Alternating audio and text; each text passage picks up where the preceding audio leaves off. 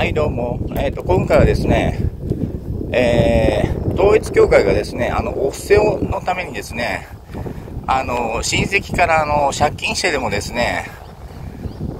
えー、お布施をしろって言ってですね、あの、親、本当に親戚におお金を借りに行ってですね、えー、お布施をするという方がおりまして、えー、ですね、でそんなお家の人はですね、あの、もちろんのごとくですね、親戚関係はですね、ぐっちゃぐちゃなんですね。えー、それはですね、あの、返す見込みのない借金をですね、するからですね。で、もちろん、もちろんですね、えー、返すか返さないかちょっと書いてなかったですけど、もう断るごとに貸してくれ、貸してくれで、その、親戚なんでね、電話がかかってきたりとかですね、会いに来たら、対応しないといけないわけですよ。あの、はね、簡単には跳ねのけれないんでね。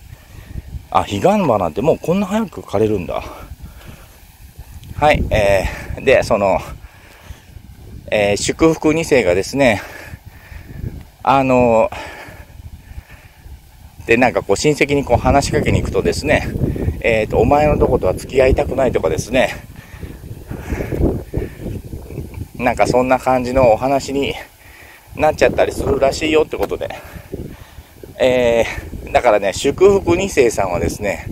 自分のところの親がですね、どんな感じのことをやったか、その、うん献金が優しかったらですね、いいのかもしれないけど、あの、結構のめり込んでるようだったらですね、親戚関係はぐちゃぐちゃかもしれないよってことで、はい、今回以上です。